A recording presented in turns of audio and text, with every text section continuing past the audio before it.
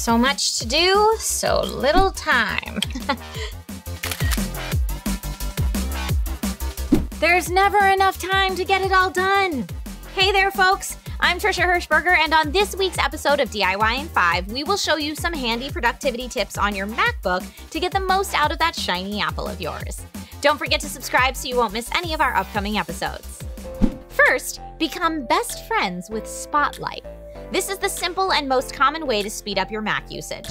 Hit Command and Space, and you can quickly find files, open apps, search the web, and make system-wide searches. Spotlight can also be used as a calculator or when you need currency conversions. If you're feeling extra lazy, there's always Siri, which works similar to Spotlight, but talking to your MacBook in public will make people look at you kind of funny.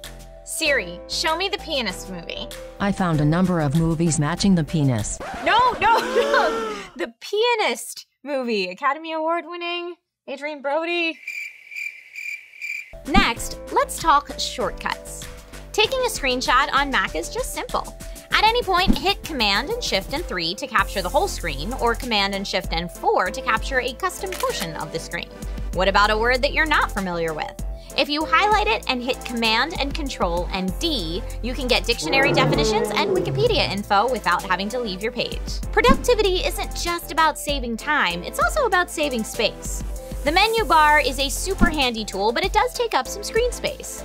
You can make it so the menu only shows up when you scroll toward it. Go to System Preferences, General, and then click Automatically Hide and Show the menu bar. If you do keep the menu bar around, you can rearrange the icons within it by holding Command and dragging them around. You can also use this to remove certain icons off the menu completely. Bye-bye, Siri.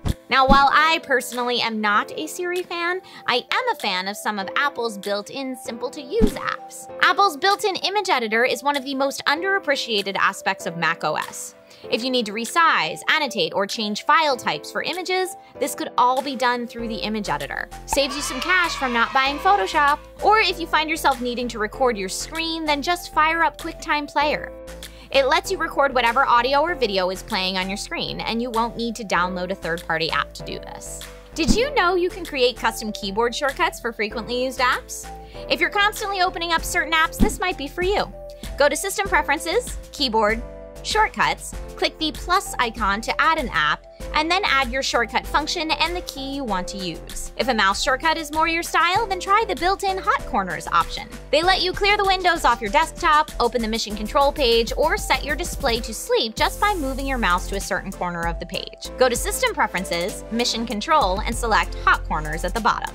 Okay, which of your favorite shortcuts did I miss? Are there any that you recommend? Please share with us in the comments below. Want to learn about external storage options for those USB-C MacBooks? Then check out this video here. I'm Trisha Hershberger, and you just watched DIY. Dang it! Command W worked too fast!